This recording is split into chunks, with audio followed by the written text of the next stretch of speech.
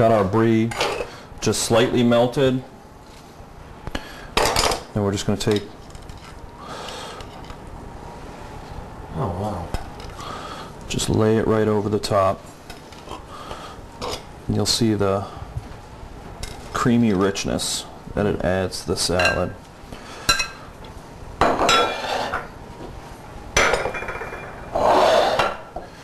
So there you have it so far.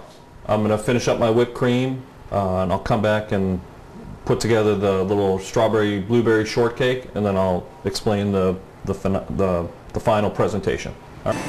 Just a quick trick on the whipped cream, especially in Cindy's brand new, beautiful, clean kitchen.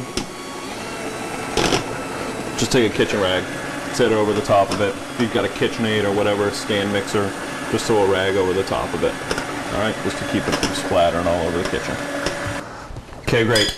So we've got our berries. You can see they've created a little bit of juice. Uh, these have probably been in there for 15 or 20 minutes, maybe a little bit longer. Uh, basically, the longer you set them in there, the juicier they're going to get.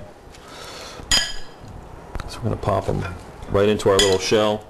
Don't necessarily have to keep them in that inside there. The more berries, the better. Make sure you get some of the juice, the sugar juice from down the bottom. Some of that nice fresh whipped cream we just made. Oh, yeah, baby. The best part, right?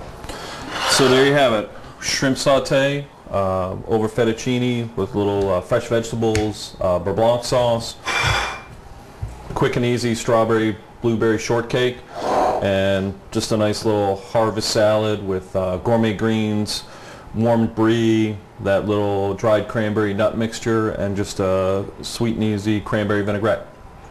And that's it.